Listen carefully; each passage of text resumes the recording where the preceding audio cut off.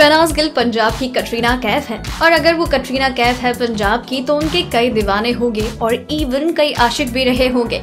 लेकिन शहनाज गिल ने इस बात को कंफर्म किया है कि चाहे कुछ भी हो जाए, लेकिन उन्हें अपनी लाइफ में किसी भी रिलेशनशिप में कमिटमेंट नहीं चाहिए। जी हाँ शहनाज गिल ने ये क्लियरली बोल दिया है कि उन्हें रिलेशनशिप ठीक है स्मूथली चले, लेकिन नो कमिटमेंट्स दरअसल शेफाली जरीवाला उनसे बाहर गार्डन एरिया में पूछती है कि शनाज तेरा कोई बॉयफ्रेंड है? शनाज बताती है कि अभी नहीं है, पहले हुआ करता था। लेकिन हाँ एक को वेटिंग में रखा है और ये बात का खुलासा सिद्धार्थ करते हैं। शनाज बताती है कि लड़का बहुत अच्छा है, मुझे पसंद करता है, मेरी बहुत केयर भी करता है। लेकिन मैं ना क्या, मेरा माइंड चेंज हो जाता है। मैं कमिटमेंट नहीं दे सकती हूँ। अगर आपका स्मूथली चल रहा है तो चलता जाएगा।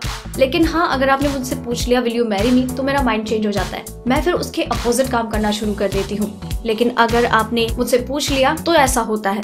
लेकिन अगर आपने मुझसे पूछा नहीं है, हमारा रिलेशनशिप चल रहा है, चल रहा है, चल रहा है तो वो सब चीज़ें नेचुरली आती हैं। Love like whatever but if you ask me then मेरा माइंड चेंज हो जाता है। ये मेरे नेचर में है, और मैं ऐसा नहीं कर सकती, क्योंकि लॉयल्टी बहुत मैटर करती है यार। हाँ अगर उसी बीच में आपका प्यार हो जाए, और फिर उसी चीज़ में शादी हो जाए, उसी बंदे से शादी भी कर लूँगी बट ये नहीं है कि कमिटमेंट करना ही है। No no. आप स्मूथली चलते जाओ, जैसा चल रहा है चलने दो, लेकिन पूछो मत मुझसे कुछ भी।